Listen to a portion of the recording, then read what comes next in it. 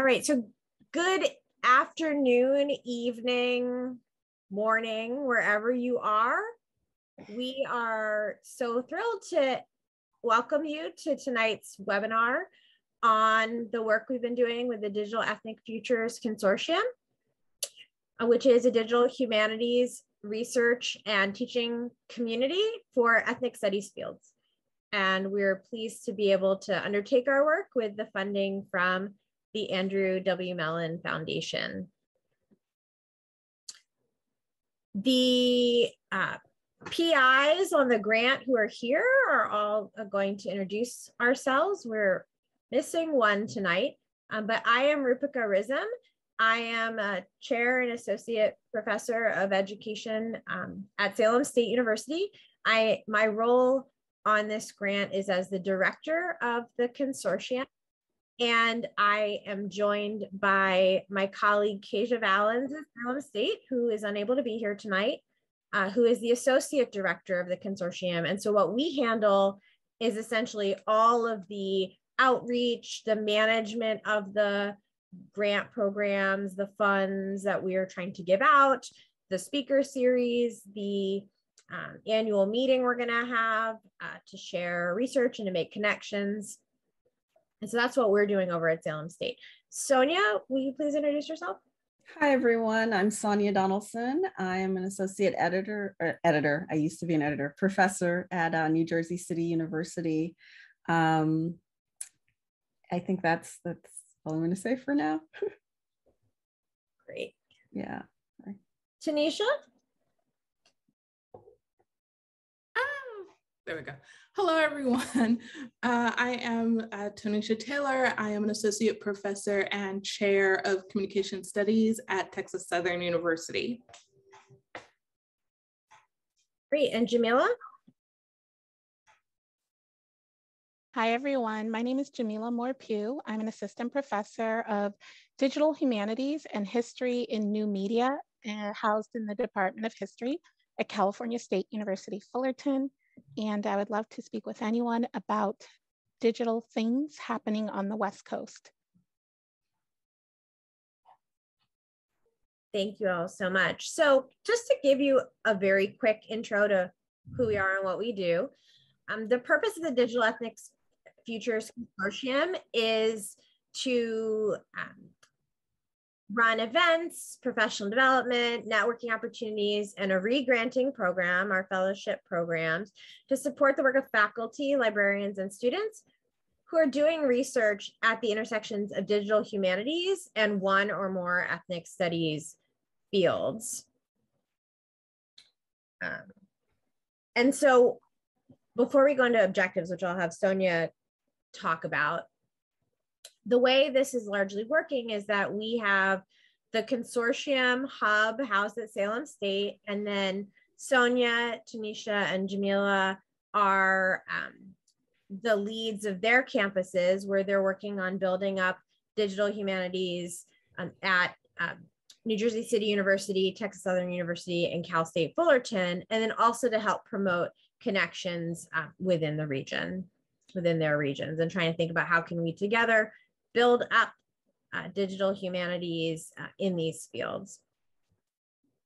Sonia, would you like to take it away? Sure. And so when we got together uh, to think about sort of what uh, the digital humanities landscape looked like for our particular institutions and the communities uh, that these institutions serve, we decided that um, what we really wanted to do was not simply focus on sort of one thing, which is to like fund uh, a, a, project or here or there, but to really think about uh, it sort of comprehensively. So thinking about developing and seeding uh, a network, a national network of social justice um, engaged DH practitioners, um, thinking about how we increase capacity and the DEF CON model really is focused on building, right? So it may very well be that uh, many of you are the only or one of a couple of people at your institution.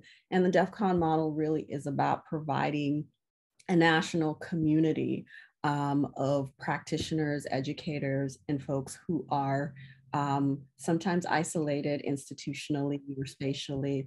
Um, and then to think about uh, reciprocal and redistributive relationships, right? So thinking really um, in, in uh, about the communities uh, in which our institutions reside and the role that the institution can play in these communities through digital humanities um, um, and, and an engagement at the at the level of the local. And then next slide, okay.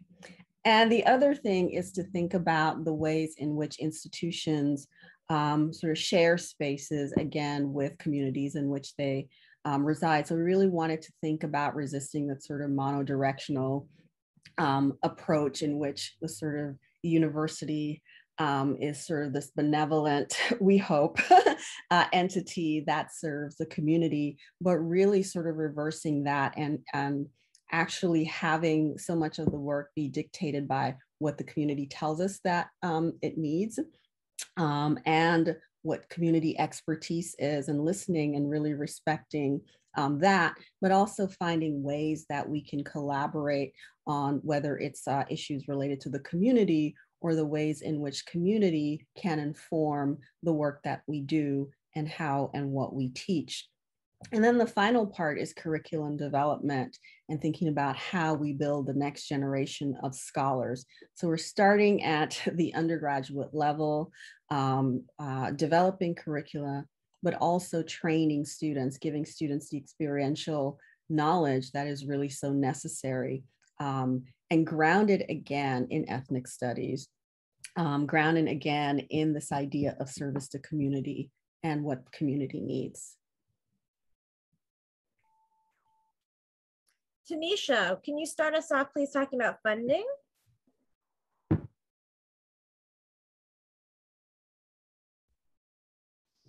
Sorry, yes, I can. Um, all right, so talking about the funding, here we're looking at developing an organizational structure that works with national and across institutional work. A lot of times we talk about what that'll mean, but there's not a real clear way to do that. And so one of the things this project is really focused on is being able to provide mentorship, uh, in the digital ethnic studies curriculum and community to be able to promote collaboration, um, acknowledge and, and create uh, knowledge mobilization and exchange in our digital humanities and ethnic studies fields uh, to be able to help individuals collaborate.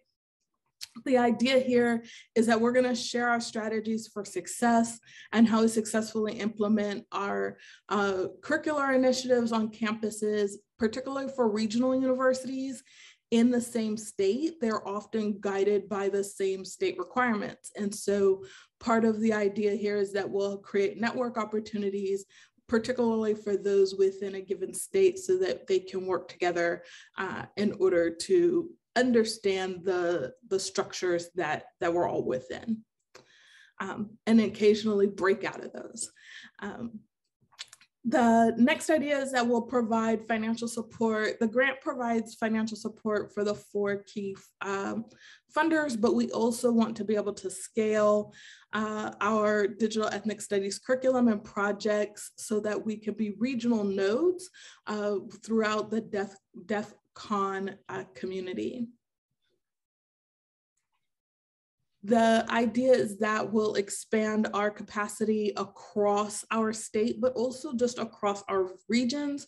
So for example, using um, Texas Southern as an example, our goal is to uh, expand across the state of Texas, but also specifically with the SWAC HBCUs, uh, those 13 campuses to be able to help uh, our partner institutions through regrants, uh, mentoring and curricular development uh, with faculty and librarians.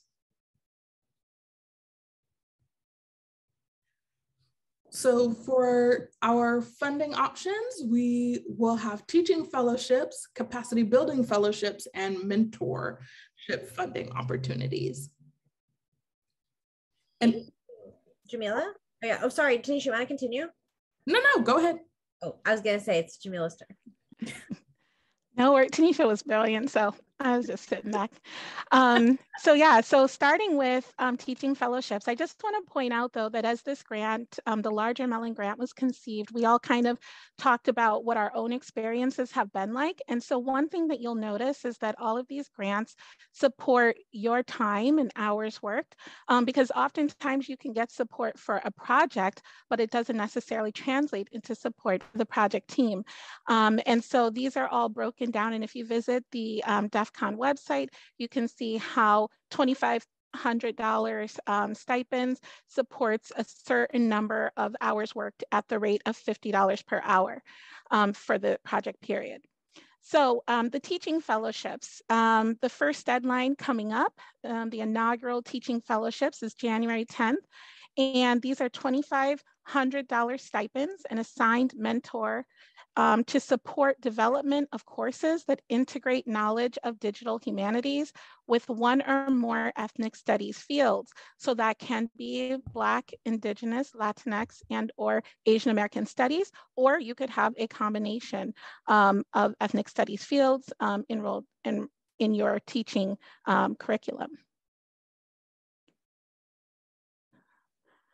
Um, the teaching fellows will meet bi-weekly with an assigned mentor and have monthly meetings with a group of fellows um, that will be led by a DEF CON steering committee member. Um, eligibility for the teaching fellowships is um, for faculty and teaching librarians at public colleges and universities, excluding R1s um, in the US and US territories.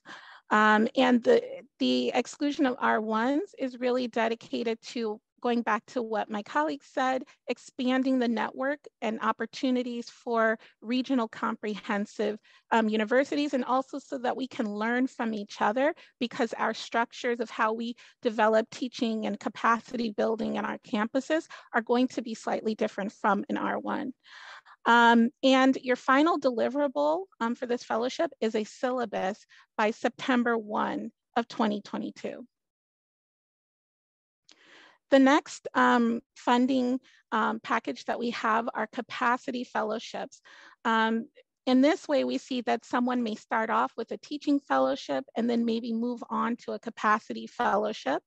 Um, but the capacity fellowships offer $5,000 stipends and an assigned mentor to support development of curriculum. So that includes minors, certificates, um, or and whatever your heart's desire um, that integrate knowledge of digital humanities with one or more ethnic studies fields. Um, and additionally, I think there's a little more on capacity. Um, fellows will meet bi-weekly as well with an assigned mentor and have monthly um, meetups with a group of fellows led by a DEF CON steering committee member.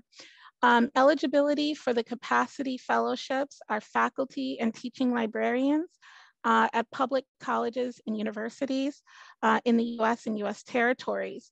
And the deliverable for this could include a curriculum map, course syllabi, um, and a governance timeline for the program being developed by September 1. Um, and so when you're thinking about capacity fellowships, think about who um, within your institution you might be able to collaborate with to develop um, some of these uh, uh, um, plans of study or curriculum maps, et cetera. Um, contingent faculty. So DEF CON will support the work of contingent faculty.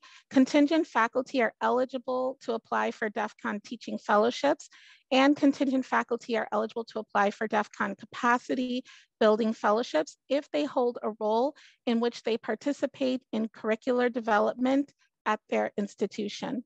And if you have questions, feel free to reach out to us um, through our Humanities Commons group um, the website, and even um, Twitter.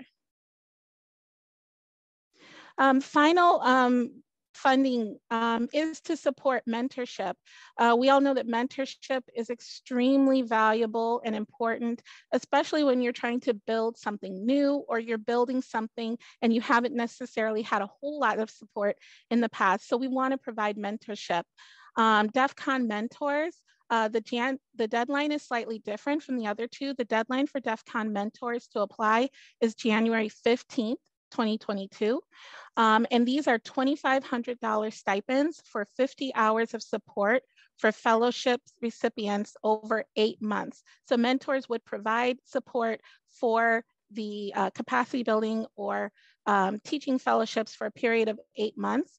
Um, mentors will offer support on topics such as curricular development, project management in the classroom, data management, sustainability of classroom digital humanities projects, and sunsetting, or how do you wind down a project.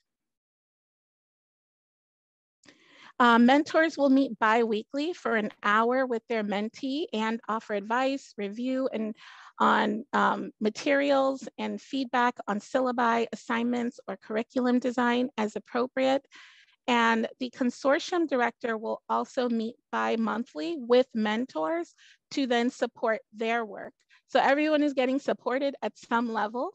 And um, eligibility to be a DEF CON mentor is to have digital humani humanities um, experience or to be a current digital humanities practitioner in the US or US territory.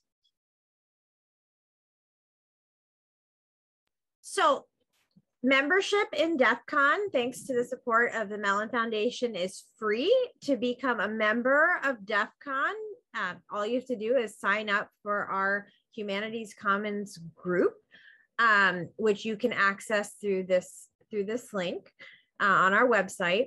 Um, you can also optionally sign up for a, new, a newsletter uh, in which we can share uh, what's going on with you. You can follow us on Twitter at, at DEF Consortium. Um, and stay tuned for announcements of speakers, the virtual annual meeting, opportunities to meet colleagues, and to share your work. Um, so we now want to turn to questions, and I'm going to stop sharing because we already have a bunch of questions. Um, trying to stop sharing. We have a bunch of questions um, in the chat that we can start answering. Okay, so, all right, the first is only faculty from public universities, no private liberal arts colleges. So for the DEF CON teaching fellowships and the DEF CON capacity building fellowships, due to how and why Mellon gave us the money, these are earmarked um, for public universities only um, not for not for private universities. Um, so if you're at an HBCU that's private, you would not be eligible. If you're at an HBCU that's public, you would be you would be eligible. Um, however, everyone can attend our annual meeting, our speaker series, and our other events, and anyone can apply to be a mentor.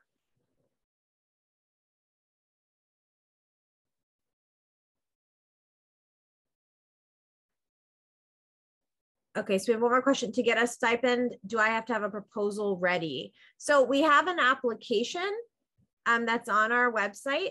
Um, the application, uh, we could, should we walk through the application? Do you think that would be, yeah, we could do that. Um, okay, let me just pull it up. Um, the applications are basically the same, um, except what they're asking is slightly different.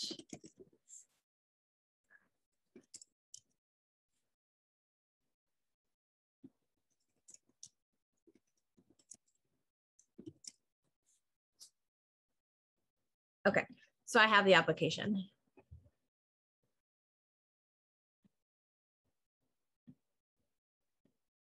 So the application asks for your name, your institution, your title and your role, your department or departments, ask you to rate your experience level with digital humanities, to rate your experience level with Black, Indigenous, Latinx, and or Asian American studies.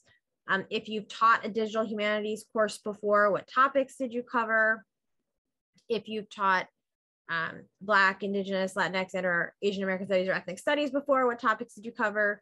A proposed course title, the department in which your proposed course would be offered, a question about whether your department will schedule you to teach the course next academic year, uh, and a 250 word description of the course you would like to teach. Um, Tanisha, would you like to go over the um, capacity building fellowship if I pull it up? Sure. Thank you. There we go. All right, so for the capacity building fellowship, um, as was noted, it's pretty much the same kinds of things, your name and institution, title, department, um, you're rating your level of experience uh, and how, what your experience is with ethnic studies and how many digital humanities courses you've taught in the past. It's okay to say none, we understand. Um, what topic you have thought about teaching, um, what topics you've taught in ethnic studies, the proposed minor or certificate title, and we understand this is just a proposal, uh, and then which department would offer the, the certificate or the minor, and then a description of what is proposed in the program. So an idea about the number of classes you think would be included, if it's for undergraduates, graduate students, or both, uh, how it would integrate into digital humanities uh, and, and, ethnic studies on your campus, uh, and whether it includes community engaged in, uh, components in your, your area.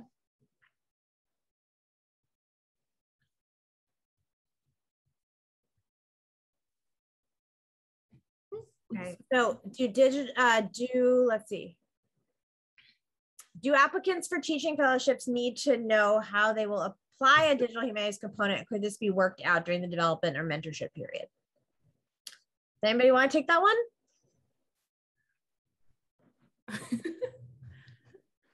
Jamila, um, to go. I'll go. I tend to look before I leap anyway. So I um I would say that you should know what, because you want to know how your project fits or how your proposed course fits into um, digital humanities um, teaching or pedagogy. So you should have some idea about what it what you would like to do.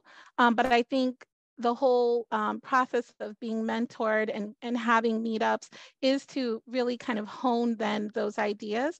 And maybe you might even pivot slightly. But I would say, I would think about it as, um, as, as a whole picture as well, is not just having like um, a technical component or addition to the course, but how and why that technical component helps you to better understand um, questions that are relevant to um, ethnic studies um, and to kind of frame it together. I don't know if that was helpful. But. I think it was. Okay. and the thing is, is digital human humanities uh, people who teach digital humanities courses are often very good about sharing their syllabi online. So what I would suggest you do if you're completely new to digital humanities is to actually um, take a look and see what people are doing in their courses. So you get a sense of what of what kinds of things are out there. Also, um, in my capacity um, on this grant, I'm also available to chat with if you want to talk through, you know, what might work for a class or what kind of methods you might approach I, I might take you know i'm happy to to talk to people about that as well uh, let's see we have could i qualify as a graduate student? So graduate students can qualify so long as they're contingent faculty they're teaching a course um, and the course uh, will be in in the at the intersection of digital humanities and ethnic studies. Um, it would be a bit more of a challenge, I think, for a graduate student to apply for a capacity building fellowship because of the needing to be able to have access to you know governance, faculty governance, and curriculum development, which uh, most graduate students don't have. Of course, if you're, I mean, there's plenty of situations in which you may be a graduate student at one place and you may be a faculty member at another, and maybe you do have um, are, are participating in, in curriculum development and governance. And in that case, you would be eligible. If you have individual questions about an individual case, um, the email for uh, our um, for our initiative, um, I'm going to put it in the chat. It's also on the website. It's just digital ethnic futures at gmail.com and you can send an email. I've been getting lots of emails from people saying, like, here's my situation. What do you think would work? And so I can answer those questions on a case by case basis. Uh, we also had um, we have a question about teams and groups of faculty applying for capacity uh, grants. Um, yes, uh, we would only want, we would only be able to give out one to the team, um, but certainly teams can apply. Um, Sonia, you want to take the course in Spanish?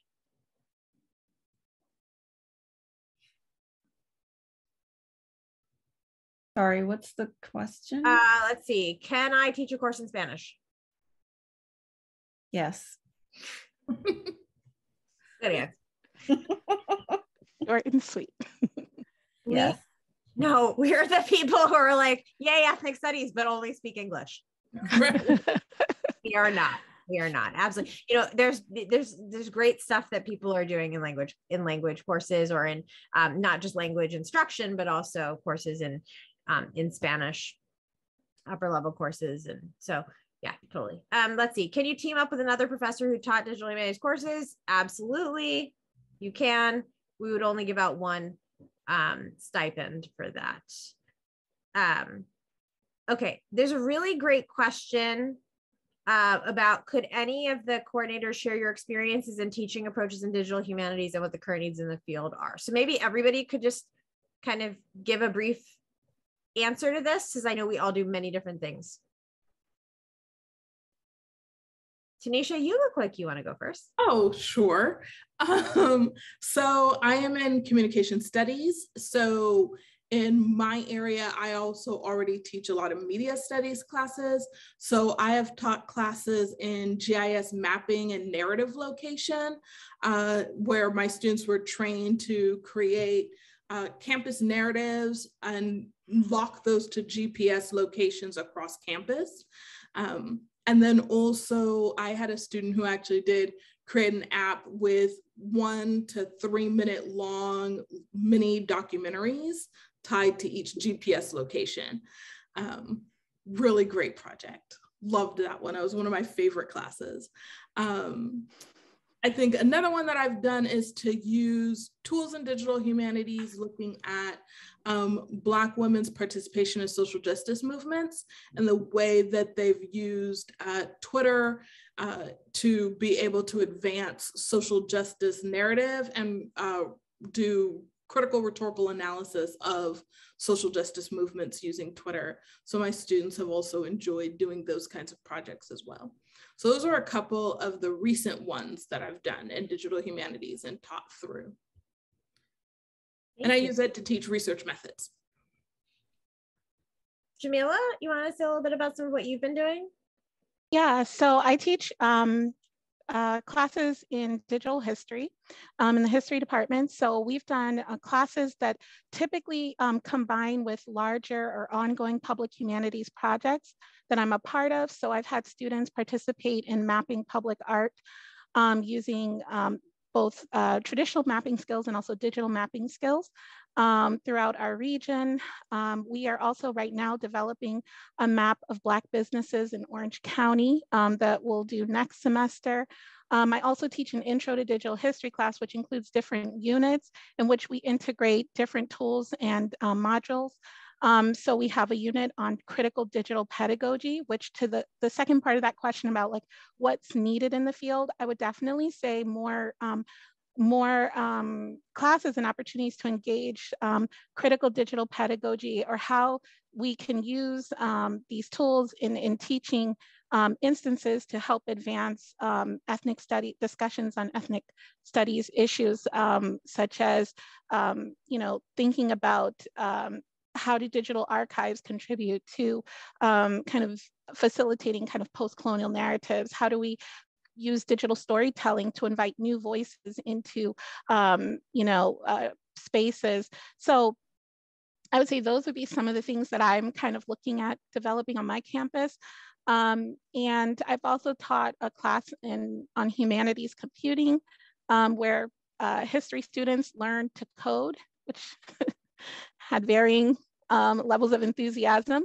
but I would say that all of my um, instances in which I kind of integrate, I've even taught students how to do genealogical research um, using ancestry tools and other kinds of web genealogy tools. So um, it really, I just kind of look at the course and the questions and the learning objectives and then kind of see what would be kind of nice to have students try. Awesome. Sonia? Yes, I, I think I will just uh, echo um, both my colleagues. Um, I've, I've done quite a bit, um, anything from passive gaming to mapping using Google Maps and Google Earth. I teach a course called Reading Hip Hop, and I have students map um, artists um, uh, uh, to, we're trying to create this sort of larger map of like hip hop globally, um, uh, looking at artists who typically don't get uh, recognition. Um, one of the things that um, you know, I've yeah, primarily a lot of mapping. I guess more mapping than I realized that I've done. I'm thinking about like um, Richard Wright's. I, I taught um, a course on Black childhood, and we mapped Richard Wright's um, uh, migrations and Black Boy, and actually students presented their work at at um, at a conference. Um, in terms of needs, I would say that um, it's one of the things that I, one of the reasons I started teaching um, uh, digital tools and digital humanities very early on, like 2006 or 2007. We were actually doing podcasting and making short films back then, and we had internet radio, and so we were experimenting with quite a bit. But I saw the need for digital literacy. Um, and so I think I'd sort of moved away from that, but I think I've come back to it as I see again that students actually need a, a, to develop a deeper understanding of where we are um, in terms of our relationship technology. And so my very early course was um, technology and identities, which led me to, um, you know, developing um, other um, courses, but I'd say I think a move back to literacy is is something that I think is is also really necessary. And I'll just jump in and say, students love maps. They love maps. They love putting things on maps. They love having their mind blown about all the lies you can tell with a map. They love being shown the West Wing clip about the maps, um, about the um, Mercator projection being wrong they love it. Yeah. I have taught a bunch of classes in digital humanities. I've taught a class um, on the Digital Black Atlantic, um, in which uh, I was introducing students to different projects, um, actually projects by all of the people here. Uh, well, all of my my uh, co-PIs, that is not everybody in this room, um, but Sonia, Jamila, and Tanisha. And introducing them to different methods to mapping to textual analysis to creating an archive to creating a, an edition and when i was teaching this class i actually didn't think i would have them do a project i just wanted them to prototype ideas for projects and be unfettered by the practicalities of implementation. And then they said, but we want to do one. And so I ended up scraping the second half of my syllabus and we together we went to the university archives and we identified a really interesting point in our history um, which was when the university newspaper published an eldridge cleaver novella and the newspaper got censored and destroyed by the president of the university. And it turned into this landmark court case about the censorship of college newspapers. And so the students did a digital exhibit about that. And they each found these different sort of areas they wanted to work on. Some wanted to connect it to the to the present. Some wanted to do an edition in the novella. And they did all these different pieces and put it together and made a project.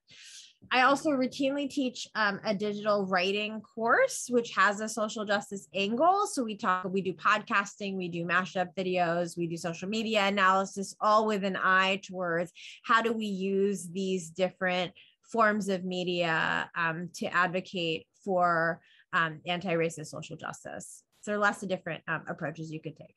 If it's not too tacky to shill for the book that brought all of us together, uh, although it's not really shilling because it's open access and freely available um, online, the Digital Black Atlantic, um, edited by me and Kelly Baker Josephs, um, is available free um, through University of Minnesota Press. So you can get there's so many there's so many different methods and we cover a lot in that book.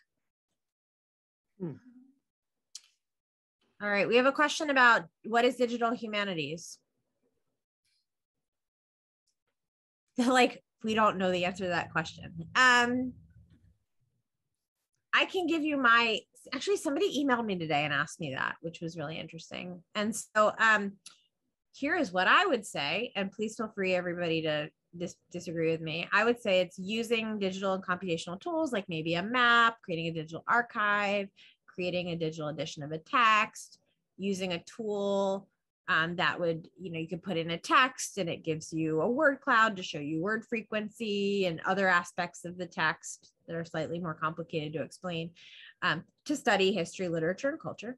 And then on the other side of that, taking all of our knowledge about how to analyze culture that we get out of a background in the humanities and applying that to digital platforms, like how does Twitter work, or to digital objects like a TikTok uh, and a digital cultures. Like Tanisha has a great article on um, Black Twitter, for example, in um, in Digital Black Atlantic. Jamila has a wonderful article about historical reconstruction uh, work and digital mapping, and Sonia has a wonderful uh, chapter on um, her work on um, digital sort of digital ephemera media representations um, of lift every voice and sing. So mm. that would be my answer. Anybody else want to um, add anything? it's like the hardest question ever. I know. I would say, you know, one of the things if you never done digital humanities work before or encountered it, one thing to keep in mind, I think starting with Sonia said is, you know, the precursor to that is just having digital literacy, understanding, you know, how to navigate um, uh, digital um, mediums. Um, and that's something that a lot of our students, um, I agree, you know, really, really do need. The other thing is to think about it as it's a collaborative way of building knowledge as opposed to maybe some of our disciplines where we learn to kind of go out there and go it alone. Um, so I would say I would just add that part is that you know it's it's very collaborative. A lot of the work that I do involves bringing people into my classroom um, to work with us as well. Mm-hmm. I would, I would it gives you an opportunity to do things big on a bigger scale than you can um, just one-on-one, right? So in communication, I'm trained as a rhetorician. So I'm trained to look at like one speech act and analyze that one speech act. But using digital tools, I can look at, for example, every presidential State of the Union address that's ever been given in the United States since the very first one and compare looking compare all of those using digital tools across time and space to look for specific themes, right? Um, and so that's one example of, of something you can do. I would never do that doing coding that by hand because it would take too long. Also, I don't care that much about presidential State of the Union speeches, but that's separate. I would also add that if we're thinking about digital humanities at the sort of intersection with ethnic studies, that it is also about um, the community and um, it's also about creating work that serves uh, the community in meaningful ways, whatever that community looks like, wherever you are. Hmm. Yeah, absolutely.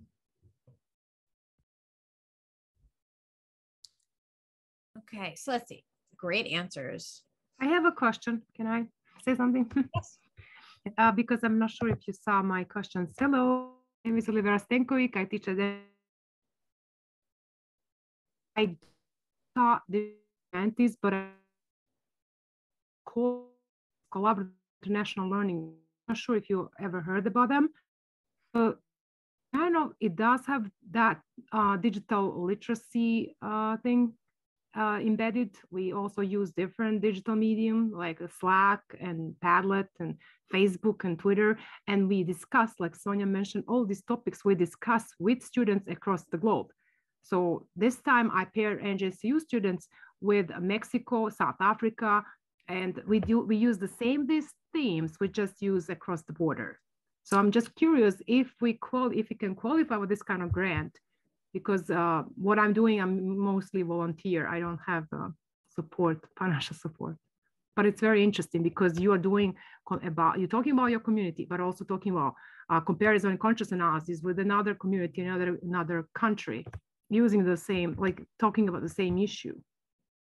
Right. I'm familiar with COIL because my a lot of my colleagues participate in it. So I do know the model. Um, mm-hmm. As if the topic of the course fits mm-hmm. within digital humanities and ethnic studies, then mm-hmm. absolutely it would be eligible for a grant. But if it's just it's just because it's a COIL course, it wouldn't. No, no, no. I like your topics. That's what I'm saying. It will be awesome to so use your topic. topic. Yeah, yeah, yeah. Like uh, about ethnicity, about uh, racism, and all these things. Yeah. Yeah, as long as it fits people. Topics.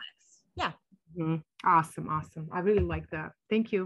Sure. Okay, we have other questions. All right. So, as that new course proposal is allowed, absolutely. We really want, especially, we were hoping that people who haven't tried you know integrating these these two um, areas of study before would be willing to try a question from um, Shiloh. I'm a PhD student. Can I apply with a librarian and co-write a syllabus and co-teach a course? I think absolutely. Um, um, oh, we have a question from Kara about ah, folks universities that are technically R1s, but not really. Okay, so I think this is a case by case situation. In the case of your university, you actually have no graduate programs in the humanities and have a very different um, situation. And um, so this is a, I think, a case by case. We went with straight avoiding R1s because we don't want faculty. This is going to sound terrible, but faculty who already have access to a lot of resources don't need our money. We want to be able to share the resources with um, faculty instructors who don't have access to it. So this is very much a, you know, contact us and let's like figure out if this would be appropriate or not situation um, bonus points for being a minority serving institution or um, an H- a Hispanic serving institution, emerging Hispanic serving institution, an HBCU, um, and uh, you know, an Asian American serving, Native serving institutions. Um, let's see. Um, so you don't have to have digital. This is Olivia's question of I don't experience digital humanities, but I did collaborate collaborative international learning, you don't have to have digital humanities expertise to apply. Um, you have should have some idea of what is digital humanities and what is in the remit of ethnic studies in your course. Um, but actually, you can use the time to develop the knowledge and expertise of how you would implement it in a course. Is that um, co, co PIs? Is that aligned with what you're thinking, or would you add anything? I think that's good. That makes sense. Uh, we have a question. If we are graduate students in R1, can you be mentors? Yeah, the R1 thing is not apply to mentors. Um, naturally, if we have mentors who are from universities that are more similar to ours and their their expertise matches the needs of the fellows, we would prioritize that. But uh, I don't I don't really think we're going to actually get so many more mentors than applicants that that would actually end up being a problem. Um, Jamila, thank you for answering these questions. Ah, okay, here's an interesting question. Could the coordinators give suggestions for making a pitch for digital humanities courses and curriculum to our universities? And some examples. Um, so one thing on examples, I will just um, point you to, I mean, I'm just shilling for myself tonight. Uh, the journal that I co-edit, um, Reviews in Digital Humanities. We have a project um, registry and that looks at the projects that we've reviewed and people do a lot of mapping projects with students. Um, so there's just a lot of links in there. It's that there's not really a directory of digital humanities projects. Um, so this is like the closest I can give you to um, being able to um, find a list of projects to look through to see what might work.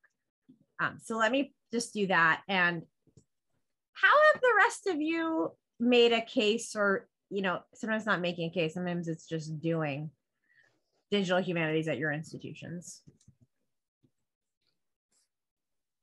Hmm. Uh, for me, it's just always doing. um, so I don't, uh, you know, I, as with a lot of folks at similar institutions, I think um, Jamila um, and Tanisha, you can also, I think, chime in that there are not a lot of us, and um, and so I think uh, there really is uh, then the opportunity to just do, and hopefully folks can come along with you. I typically um, work on students, and I've been really fortunate in that we actually have, surprisingly, an amazing GIS lab, thanks to one of my team members who has worked hard over the years to get funding to set. So we have a full on like Esri uh, research one level GIS lab at NJCU, which is our little secret. And he's been, Bill Montgomery has been working with students over the years to build their own small GIS projects. Um, but, and we've collaborated um, on an honors course that we built together across three faculty members. Um, and so it really is a matter of trying to doing it yourself, unfortunately, which is difficult, but also trying to find people at your institution who are at the very least open uh, uh, to listening and are willing to kind of experiment a little bit with you. So it really is about the community building aspect of it uh, because most of us are um, you know, the only or small in numbers at our institutions. Yeah, I would just agree that, you know, a lot of it is just kind of leaping in and doing. Um, lucky for me, my department was looking for someone to do this, hence my title is, and I keep that in the title because I want to remind people if should they forget, hey, you wanted me to do this stuff. So when I come around looking for resources, they know. Um, but I think the other thing, but it has still been a challenge to get to make kind of the pitch for um, digital humanities broadly, not just digital history, which is one house in the digital humanities. Um, and so that's where, as Sonia said, developing partnerships with um, folks who are, you know, interested in, in, you know, all kinds of different topics that touch upon the digital um, in the university library um, or people who you know run other labs or spaces that we can kind of collaborate with has been really important in terms of showing that this is not just me and my pet project but this is something that is beneficial to the campus at large. Um, another key thing has been i think rooting my my my my courses and my curriculum in the community um, so starting off with Mapping Arts OC, where we look to map public art in one city in Orange County. And from there, students started coming in, community partners started coming in, and we've had to since, re, you know, we're currently redesigning and expanding the project. Um, and so um, having people within the university see that this is again not just kind of my little pet project or, um, but this is something that the community wants. Um, they want to see their stories told in these different ways. Um, and, and it kind of gets us also outside of the walls of the academy um, has been really good for kind of making the case, I would say. I would um, jump in and say that, you know, they didn't want, I mean, they didn't know that there was going to be a digital humanist. Uh, they were hiring something else and. I really just wanted people to work with and I wanted um I wanted colleagues. Um so I essentially went to the library and I was like who's here?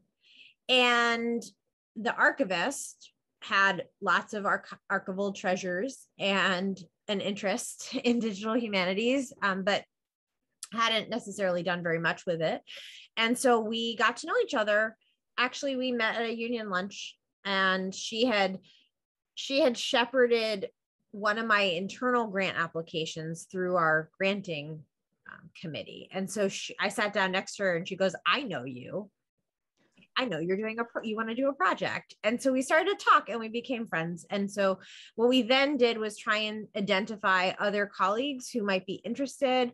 Um, we tried to look for internal funding sources. So we were able to apply for um, a strategic plan uh, grant. It was tiny. It was like $7,500 um, to pilot an an paid internship program for undergraduate students um, to learn digital humanities to give them research opportunities. So our students don't have a lot of research opportunities. Um, we also, what else did we do? Oh, we tried to see what internal things already existed that we could try and appropriate and repurpose for ourselves. So for example, we always had, you could apply to run a faculty learning community. And so we twice ran digital humanities faculty learning communities and brought, and they were paid opportunities for faculty to develop professionally in some area. And so we ran two of those. And so that was sort of how over time we um, managed to build up our program. So a lot of kind of find your people um, and starting with the library is really good. Um, and also kind of recognizing that librarians have expertise um, in their areas and that um, librarians are not there to serve faculty and you know cult- cultivating really equitable um, relationships on the basis that you know i come with some expertise you have some other expertise together we make things um, that are fun and collaborative uh, emphasis on collaboration. Um, that's how we did it. And i can share i have two chapters i think they're available um, on our digital commons repository on what we did at salem state and how we did it. So i'll drop those links in the chat in case people want to um, read our recipe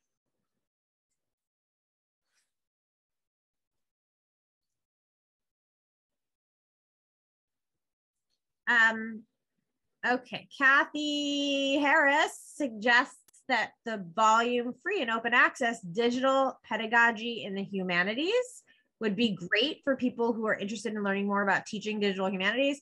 I completely agree. Um, and not just because I wrote a chapter. It is actually very, very, very useful um, resource and the links in the, the chat. Um, I would and, add if you've never, especially if you've never taught digital humanities classes, it's really helpful. Um, again, not just because I wrote something in there, but um, I've used it to try and figure things out myself. There's lots of really great like lesson plan resources in there and other kinds of resources that um, syllabi and all kinds of stuff in there. It's it's a lifesaver. I've gone to it just when I can't think of what to teach because my administ my administrative brain spent too much time working and didn't give my teaching brain enough space to breathe. Great. And then how many slots are available in each category? Oh, I have to look that one up.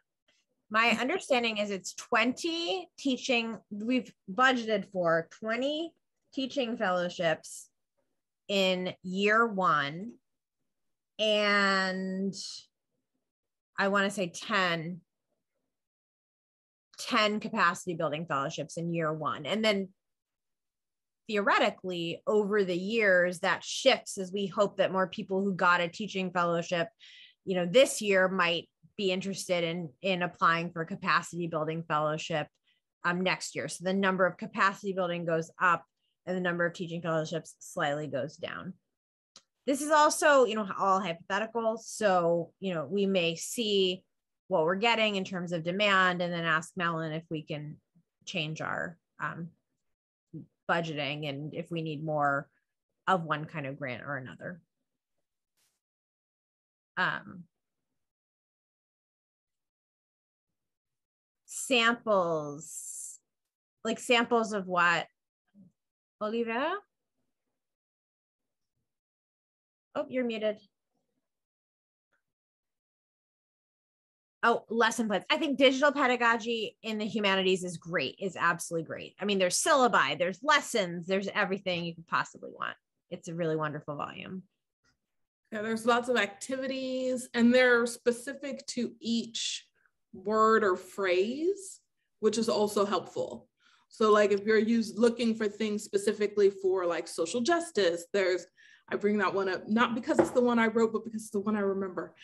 Um, there's also one, I think there was actually one in friendship too that I used for my interpersonal class.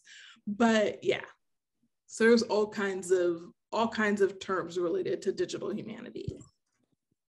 I used to teach interpersonal. That was one, one of my favorite courses. Oh, so, nice. oh, I'm, I'm so happy to see this. I love it.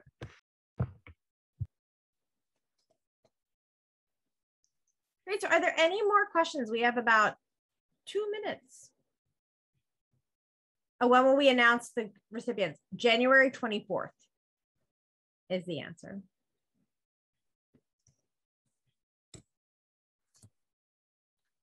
So just to wrap up, please let us know what you need, particularly at Salem State in collaboration with the steering committee, which is Kasia, Valens, and I, Sonia, Jamila, and Tanisha.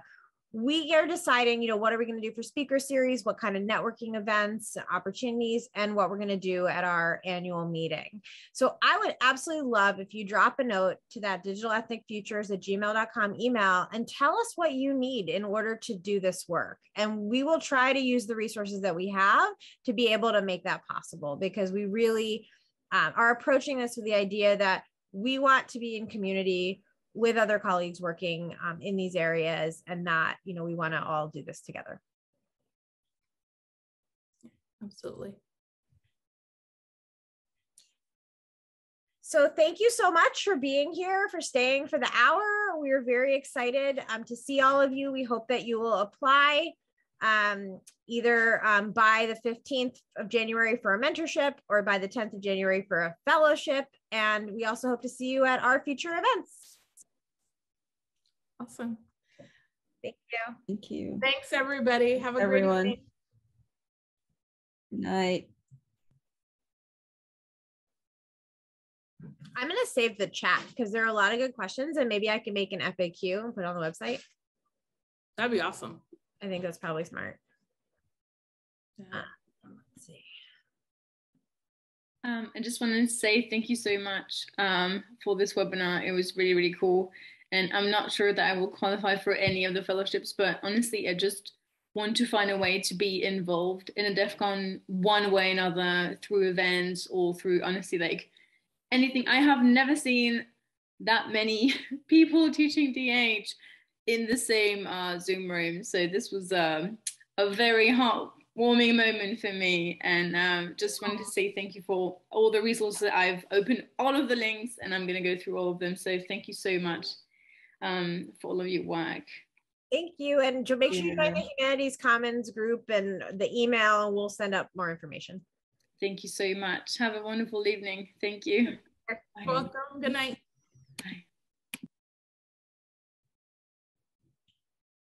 Hi, Justine.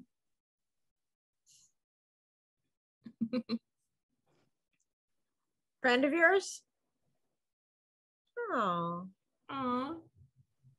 So nice when there's friends around.